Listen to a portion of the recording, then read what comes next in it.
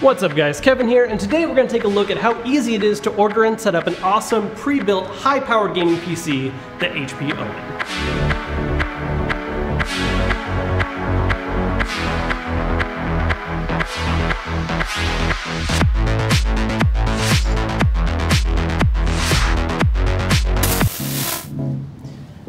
So, first things first, we need to actually order our Omen PC, which is really simple. All you have to do is go to HP's website, select the configuration you want to do. We're going to look at the 880-160SE, which is one of the more powerful configurations you can get, and then you can customize all the little bits and pieces you want. Now, there are some pre-done recommended configurations you can do, but I'm actually going to skip that and just go to doing each and every section because I want to max this thing out. Now our first choice is what processor we want to have, which for this configuration we have two choices, and this is going to be the main brain of the computer that really makes sure that everything runs nice and efficiently. Our two choices are either an i7-8700 or an i7-8700K, which the main difference there is the K is going to let us overclock, which we want to do, so we're going to grab that one. Now next up is our memory. Now the more of this we have, the smoother and faster the system's gonna run, and you can get as little as 8 gigs, 12, or 16, but I wanna go all out with the system, so we're gonna grab 32.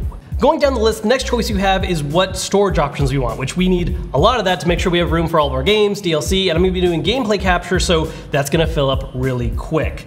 So there's a few options here. You can get just a one terabyte hard drive, but I wanna have a combination hard drive and SSD. That way, everything in the SSD is gonna load a lot faster, while the hard drive is all the mass storage. So we're gonna get the biggest option here, which is 512 gigabytes of SSD with a two terabyte hard drive. Now next is our heatsink, which is really important because with all the power that we're putting in this PC, we need to make sure that it, well, doesn't melt. And there's a few choices here. You can get an air cooling system, but I'm gonna go a little extra to get the liquid cooling solution. That's gonna make sure that it's not only cool, but it's gonna run a lot more quietly. On top of that, I'm gonna grab the option that goes to the side window, because if I'm gonna have this much power in a PC, I wanna be able to see it. Now our last and probably most important option is what graphics card we want to have, because that's going to determine just how good games can look. And there's quite a few choices here. You can start at the introductory of a GeForce 1070, but once again, we're pushing this thing to the limit, so I'm going to go for the top option with a pair of 1080 Ti's and SLI. Alright, so now we've got everything picked and ordered, so now all we have to do is wait for it to arrive. So now that our Omen is here, it's actually really easy to set up and it's ready to go right out of the box, but before we start playing on it, let's take a look inside. You can get a little bit of a look with the side window here, but let's actually open it up. And this is one of the things that's really cool about the Omen, is there's a lot of pre-built out there that make it a chore to open up if you ever want to upgrade anything or change it out. Not the case here, really easy. All you gotta do is flip a switch in the back, is slide the little lock button here, hit this button, and then just pull this off, and there we are.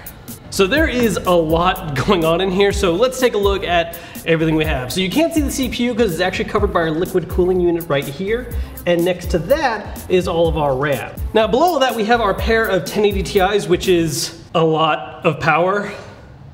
And below that is our hard drive storage options right here. Now what's really cool about the Omen is that you do have some additional places for hard drives as well, which is actually up top, where all you have to do is open these flaps, and you have a pair of drive caddies to easily swap in and out any additional hard drives you might have. So now that we've confirmed that everything we ordered is actually inside the tower, which is a good thing, let's close it back up and actually start playing some games. So to get a real grasp of how powerful the system is, we're gonna play The Crew 2 on the Omen, as well as on an 8th generation nondescript home gaming console.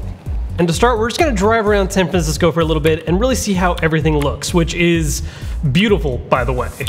I'm not even playing the game yet, and something I'm noticing right away is it's taking a lot longer to get started. We're gonna get there though. Just, just wait a bit. All right, we can start. And we have everything on max settings right now. We're using a 1080p monitor and we are getting a solid 60 frames that is not dipping at all for even a moment.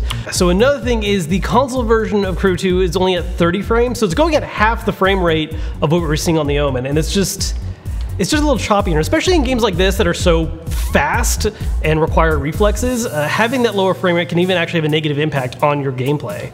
Uh, the frames aren't dropping at all. It also looks like while it's targeting for that 30, we're getting a little drop off when stuff really starts taking off. There's a lot of other little things too going on all at once. The reflections on the car, how far you can see in the distance, everything's just looking really crisp and nice here.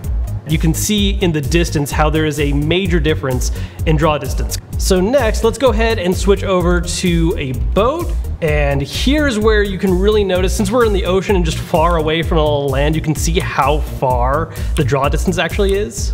It's still a good looking game, but compared to playing it on the Omen, it's just those hits and frame rate and the inconsistency of it, plus the drop in just resolution and details, it's not really as immersive.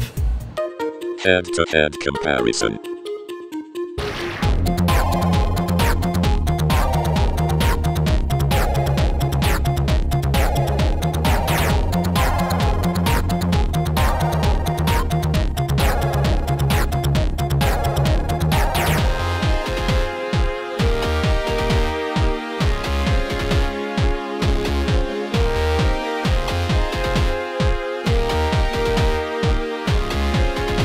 Think it's pretty safe to say that when it comes to performance, the Omen absolutely kills it at getting the most out of your games. Now if you're interested, make sure to check out HP's website for more info on this tower and the rest of the Omen line, and I'll see you all later.